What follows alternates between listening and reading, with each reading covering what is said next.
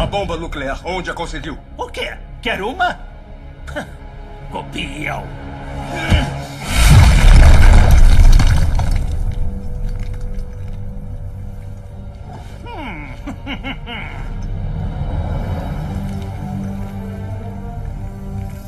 Fique longe dele.